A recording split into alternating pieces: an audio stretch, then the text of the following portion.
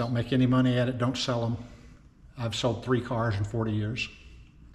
This is pretty much the pinnacle of Ford performance. If you take this car and do a little work on it, take the smog off, do a little bit of tuning to it, uh, this becomes a beast. An email from the ultimate collector of 1971 Mustangs, Finley Ledbetter. What's the fascination with 71s? I mean, Had one, had one in high school.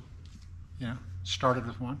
And he just found an original 1971 Super Cobra Jet Mustang, black, located in, of all places, this salvage yard in Missouri. But the car's not outside, it's back there in one of those sheds. And we're going to go dig it out. Why am I selling it? yeah. You don't understand how much how much cars I got. How many cow? How many cars does he have? Cars? Uh huh. Mineral Wells, Texas, where Finley's latest barn find is part of a plan to buy every black Super Cobra Jet four speed Mustang that Ford ever built, among other 71s, at his blue oval car barn, driven by the enthusiasm and wealth of this one man. We take them off the showroom floor and drive them. Because they sit on the floor and fall apart. It takes hundreds of man hours a year to keep them in shape. And then we bring them over here and we do run them up to temperature and go through them. And this over here is a local barn find, set since 1976. Who's this young man here working? Chad, go ahead. Hi, Hey, I'm Chad. Jerry. Nice to meet you, Jerry. Uh, I just help Finley maintain all the cars. These are just my cars. This is just my garage. I don't sell them. I, I don't trade them. I, this is just my collection. I've got about 60 cars and I swap them in and out every five or six months and maintain them, you know. It's my job just to find them and put them in better shape for the next guy. So that's my total charge. Boss 351? Sure. Anything 1971 and high performance, you're going to find here. This is a 71 Mustang Cobra Jet J Code four speed convertible. This is supposed to be, according to uh, some Mustang aficionados, the rarest muscle car ever built. Another rarity, the 71 Coupe, 86 built with the 429 Cobra Jet. People walk in and it's free. I said we have about 50 to 100 people a day that come through. All 70s and 71s. Love it. It's just a beautiful thing. It's a beautiful thing. Yeah, Finley has some 70s tossed into the collection, like this Boss 302 and this Boss 429. 69 Mach 1? Sure, beside another 71 Super Cobra Jet. I've got about 40 71 cars in my collection. The majority of them are restored cars, but some of them are original cars, like this one here is an original 9,000 mile Survivor. I'm working on eight restoration projects right now, from three or four Boss 351s, a couple of Super Cobra Jet Mustangs. These are the actual shifters out of those eight cars, so I'll take, disassemble these, overhaul, recondition these shifters, re-chrome plate them. So you have eight restorations going on at one time? right now. This is a 71 high performance Mustang from headlight to tail light. So if you needed a headlight can, you would go to this end. If you needed a gas cap, you would walk to the other end. So all the parts are organized in order. These are distributors, all date coded correct distributors for various date coded cars, ignition components. And then behind that would go the carburetors because the carburetor is physically behind the distributor in the car. The entire car, eh, all the parts are organized in order of which they go in the car. It makes it easier to walk to and find the correct part. We do get good quality cars from time to time, but we kind of specialize in the ones that no one else wants to take a, take a shot at. For instance, this car on the top, I bid against four or five other people for. It came out of a scrapyard in West Virginia. It's a 71 Super Cobra Jet sports roof, which is ultra rare. There's only a couple of them. It's a 429 Super Cobra Jet J Code drag pack car, and it will be a brand new car in about five years. This is a, again, a very rare Super Cobra Jet black a J Code 411 drag pack car with white Mach 1 interior. This is a 70 Torino Cobra that uh, is my weekly driver. This is a 71 Cobra. It's a real low mileage car that came out of the desert in California. These are Cobra Torinos, huh? This is a, a J code four speed CJ car, but the reason that car is here is it is a beige with white interior car, and they only ever made one of them. The next one is a 429 Super Cobra Jet black car, just like the car that came out of Missouri. It's only got 30,000 miles on it, but it's had a tough life. Uh, this car will be a complete restoration. Uh, metal work alone on this car will be four or 500 hours. Uh, the next car is a 70 Z28 that I found with 18,000 miles on it. Kept it as a survivor car. Uh, the next one is a Boss 351 that's waiting on restoration. Then a Grabber Blue Boss 351 under the tarp that's waiting on complete restoration. Uh, above that is a parts car. That one's going to be cut up for parts, Jerry. If we walk this way, this is the typical result. If you were to look at the sports roof car that's on the top that I got out of West Virginia, this car didn't look much better than that when I got it. But in two or three years, this is what it'll look like. There again, this car has about 2,000 hours and about $80,000 in investment to get it from that point to this point. Uh, all original Ford metal, uh, mostly original parts. We do use some reproduction parts. If we can't find the original part, then we continue to search for the original part, and when we find it, we go back and put it on the car. This is another 429 Super Cobra Jet drag pack car, identical to the car on the top that came out of West Virginia, but this is a Mach 1. This is a, a- an interesting case because this was a Restomod, and we saved it from Restomod hell. Uh, we do a lot of that where we find cars that were converted to Restomods in the 80s, and then we take them and convert them back to original cars. But this is what it looked like. It was all red. They'd painted the bumpers, all the chrome. They'd lowered the car, put a leather interior in it, power windows, power doors, uh, aluminum, all aluminum top end on the engine, chrome. Uh, look how low the car was. It was undrivable. This is the list of parts that the original owner had kept from the original car in the garage in Ohio, in Akron. So we were able to go get all the pieces and parts that it took to put the car back together because he had maintained it all and kept it all. The original block was there, all the original engine components, everything he had taken off the car, he had kept, and that's real unusual. Normally we have to go hunt all that down. So this is what we ended up building from what we started with. And now it's back to being something that I can pass forward to the next owner, uh, feeling good about, instead of a of a resto mod. Well, tell me about the 71 you bought because Uh, this is the identical car, uh, or very close. I found this car in Massachusetts. It actually had a tree growing through it. Uh, I've got about 2,000 hours in restoration in this car, a lot of metal work. It's a 71 Super Cobra Jet drag pack car, just like the car in Missouri, same color. Here's the before picture and the after. The difference being they're both J code Ram Air cars, but this is a four speed car, the other one's an automatic car. So let's go get it in Adrian, Missouri at Howard's Auto Salvage, where we meet Howard Stevens. Most most of the stuff I sell is somebody that's fixing an old car, you know. I'm Charlie. I help Howard But Charlie's doing all the hard work. The cows and the salvage yard both. And then there's Bob.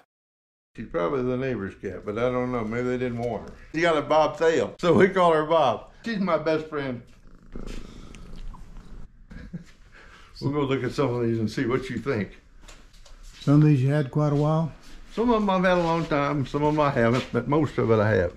Oh, and if you're wondering, that black car is a 40 Ford Coupe. Got a 327 Chevy in it. Put a Camaro subframe under the front and it's got a Borg Warner 4 speed and a 57 Chevy rear end. the 71 Mustang, never advertised, but people find out. I had that Vanderbrink auction lady here a month ago, and she, I told her I thought it was a hundred thousand dollar car, and she agreed with me.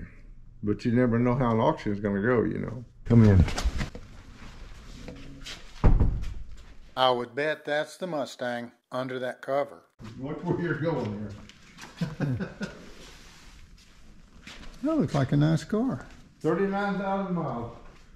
What is it, 312? Two ninety-two.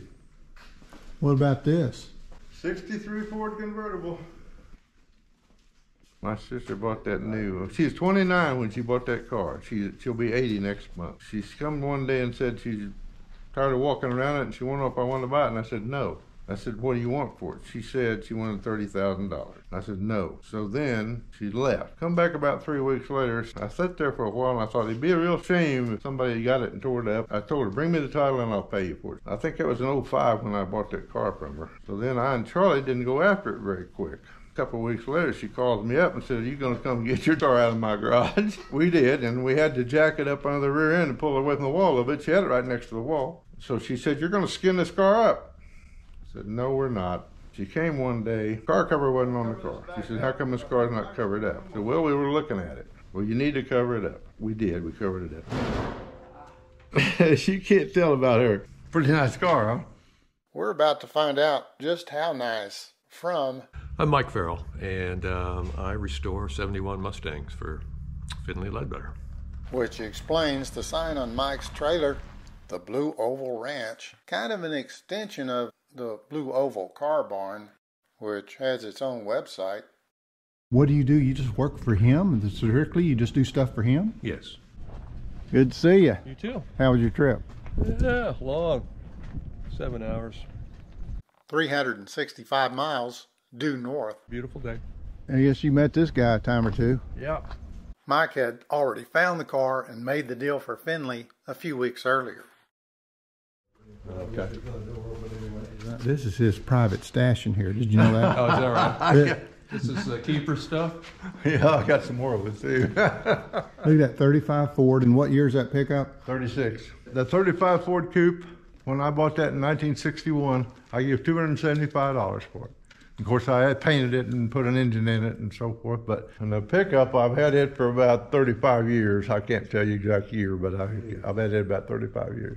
And then when did you get in the salvage yard business? 1970. One might think that he likes black. All these cars, trucks, everything. Black. What's under that cover back there? I didn't see that other one. That's black too.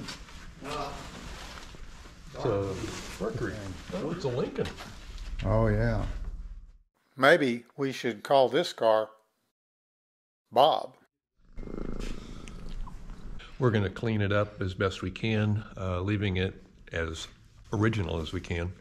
But it'll be running, driving, uh, safe. Yeah. What's he bringing in?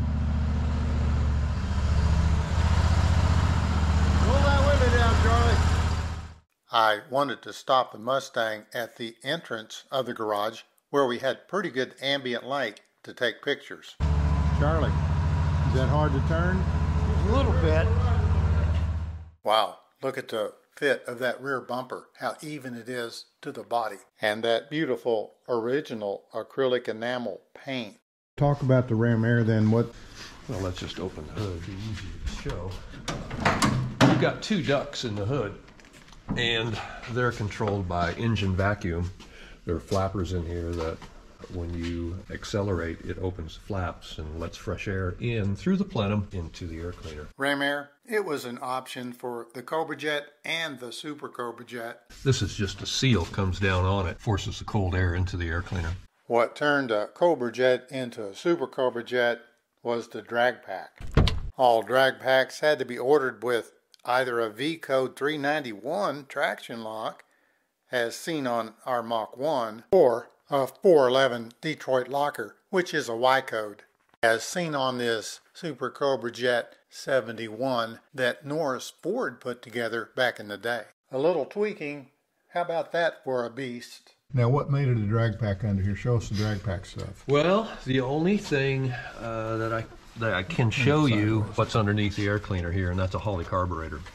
Okay. The Cobra Jets This is a photo from my files. came with a Quadrajet. Yep, a 730 CFM GM carburetor with a Ford part number. The Super Cobra Jet, and notice no decal on the air cleaner lid, came with with a 780 CFM Holley. Now, is there a number on that? Yes, it should be right there, and I don't have my glasses on. And it's a ninth. It's a D1ZF9510X is the automatic Super Cobra Jet. Y for the four speed. So that's the difference in a Cobra Jet and a Super Cobra Jet. That's one difference. The other difference is the Cobra Jets had a hydraulic camshaft. These have a solid lifter, more aggressive camshaft. Plus, you have your nodular crank and rods. Just a, it's beefed up motor. Most things under the hood, other than normal maintenance items, are original to the car. I mean, there's a few things. Uh, originally, these engines had water tubes to run back for the heater, but they, they failed. I'm sure, you know, there's been maybe a water pump, uh, maybe not, hard to tell. Uh, gaskets, maybe a few gaskets have been um, changed out. Look at this battery uh, tag. That's the original battery tag that came on the car. No kidding. What's left of it. Watch the reactions when we ask about replacing this unreadable battery tag. Here's a new battery tag. What are you going to do with that? Um, I'll probably, hopefully, leave it. You're going to leave that? Well, um, it's original. Okay. Well, that's a. Wait, come here a minute. You're sounding like my sister. It's original. Leave it alone. Yeah. A long time ago, there used to be a little strap hanging. Hey, maybe it still is. There's a little strap hanging down underneath there. So I told told her one day, "You want me to cut that off? No, leave it alone." Oh, so your sister wouldn't change anything? Oh, no. She left it original, huh? yeah, she wanted it original. Yeah, I'll tell you another one pretty soon when you turn that off. Well, no, I mean, yeah. So you're going to leave that paper? That's interesting. You need your light right here. You see how that little red, kind of a little red streak there? On the alternator? Yes. Can you see the red? Oh, yeah. Just a, It's mm-hmm. kind of pink now, but when they came out, the part number here was highlighted in pink, and that's what's left of it. So you can just leave that, right? I hope so. When you're doing something like this, you you got to decide where you're going to start and where you're going to stop. You know, are we going to make it look pretty, or are we going to leave it like it came from the factory? You know, and and Finley will have make those calls, and I'll just um, do it the way he wants it. What's really nice about this car is it still has all the original smog equipment on it. It's got the air pump. A lot of people took them off and threw them away because this drains a little power from the motor. This is a fold-down rear seat car. I think they call them sports rear seat, sports deck rear seat. You can put your snow skis through there.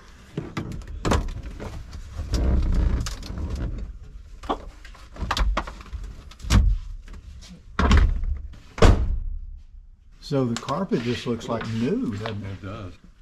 Yep.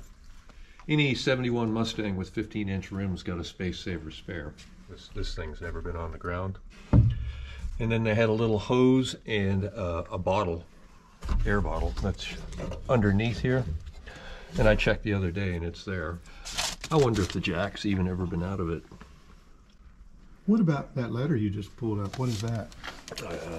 This is a sticker that's supposed to go on the spare rim, tire rim.